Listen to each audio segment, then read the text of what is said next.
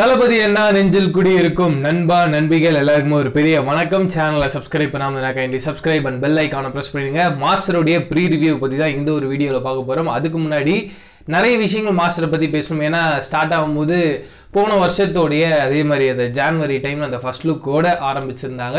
அதுக்கு அடுத்தடுத்து இந்த ஃபர்ஸ்ட் லுக்கே ஒரு மிகப்பெரிய ஒரு இம்பாக்டை கிரியேட் பண்ணிச்சு. ஏன்னா வந்து திடீர்னு அண்ணன் ஒரு மாதிரி இருக்காரு. அந்த போஸ்டரே பயங்கர டிஃப்ரெண்ட்டாக இருக்குது கேட்டால் இதில் வந்து விஜய் நான் வந்து ஒரு குடிகாரராக வராரு அப்படின்ற ஒரு விஷயம். ஏகப்பட்ட சஸ்பென்ஸு கூட விஜய் சேதுபதி ஆன் போர்டில் வராரு. இந்த பக்கம் லொகேஷன் அவருடைய படம் இப்படின்றது இந்த ஒரு காம்பினேஷனே ஒரு மாதிரி பயங்கர டிஃப்ரெண்ட்டாக இருந்தது. அது மட்டும் இல்லாமல் பிகில் ரிலீஸ் ஆகிறதுக்கு முன்னாடியே இந்த ஒரு காம்பினேஷனை கன்ஃபார்ம் பண்ணுறாங்க லொகேஷனாக தான் வந்து விஜயனா கூட கை கோர்க்க போகிறாரு அடுத்த படத்துக்குன்னு சொல்லிட்டு.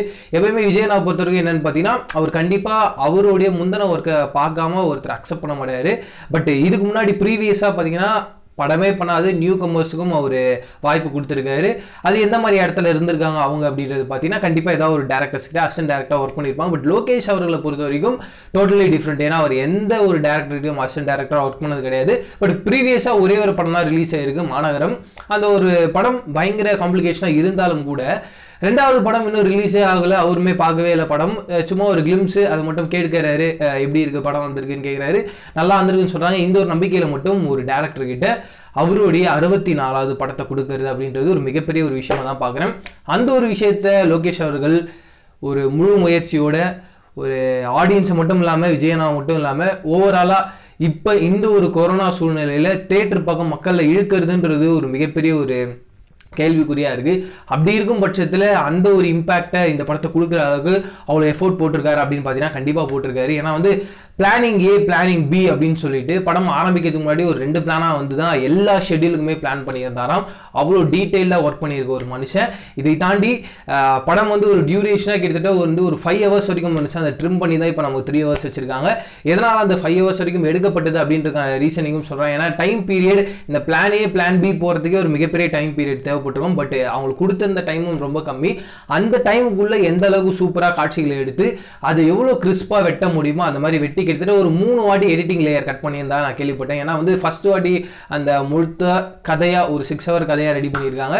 அதுக்கப்புறம் வந்து மறுபடியும் ட்ரிம் பண்ணி ஒரு ஃபைவ் ஹவர்ஸ் மறுபடியும் ட்ரிம் பண்ணி ஒரு த்ரீ ஹவர்ஸ் மறுபடியும் டோட்டலாக வந்து இந்த ஒரு லாக்டவுனில் மறுபடியும் ட்ரிம் பண்ணலாமா? இன்னும் கிறிஸ்பாக அடிக்கலாமா? அப்படின்னு யோசிக்கும் போது வேறு ஏதாவது ஒரு இடத்துல கை வச்சா கண்டிப்பாக கதையில் ஏதாவது ஒரு இடத்துல வந்து ஆடியன்ஸுக்கு புரியாமல் போயிடும் அப்படின்ற ஒரு கொஸ்டின் மார்க்காக அங்கெல்லாம் அப்படியே வந்து நிறுத்துறதுனாவும் கேள்விப்பட்டேன்.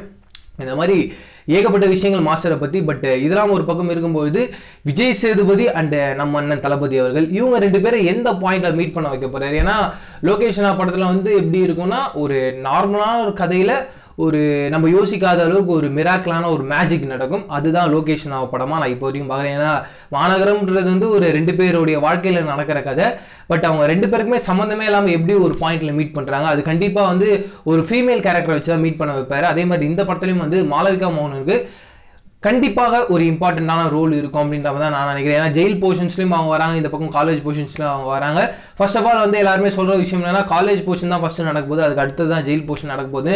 பட் படமாக ட்ராவல் பண்ணி பார்க்கும்போது லோகேஷ் அவர்கள் கண்டிப்பாக நார்மலான படம் பேட்டர்னில் இருக்கிறதுனால டிஃப்ரெண்ட்டாக இருக்கும்ன்ற பட்சத்தில் இந்த படத்தில் வந்து ஃபஸ்ட்டு மாளவிகா மோகனன் முன்னாடியே விஜயனாவை தெரியும். அதுக்கப்புறம் மறுபடியும் வந்து இந்த காலேஜில் தெரிகிற மாதிரி நடிக்கிறாங்களா?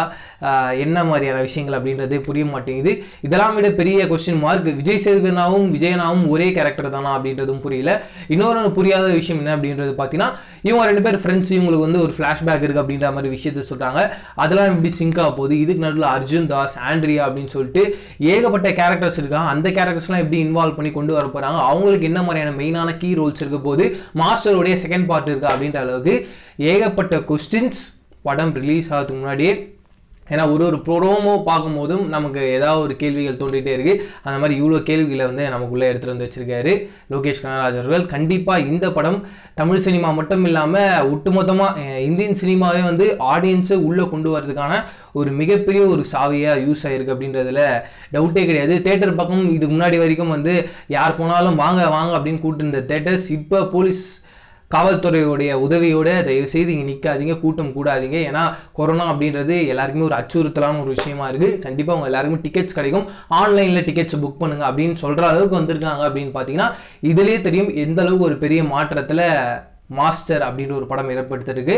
அந்த மாஸ்டர் இடம்பெற்றதுக்கான காரணம் கண்டிப்பாக நம்ம என்ன அப்படின்னு நினைக்கும் போது பயங்கர ஹாப்பி நீங்களும் மாஸ்டரை எவ்வளோ ஹாப்பியாக பார்க்கறதுக்கு வெயிட் பண்ணிட்டு இருக்கேன் நீங்கள் எந்த தேட்டரில் எத்தனை மணி ஷோக்கான டிக்கெட் வாங்கியிருக்கீங்க அப்படின்றத கீழே இருக்க காம் பாக்ஸ் உங்களுக்கு ஷேர் பண்ணிக்கோங்க இதே மாதிரி சூப்பரான அடுத்த நம்ம என்ன நம்ம தளபதி என்னோட வீடியோவில் சந்திக்கிறேன். அது வரைக்கும் டடா பபிஸ்லிங்க பிரவீன் கேஎஸ் பாய்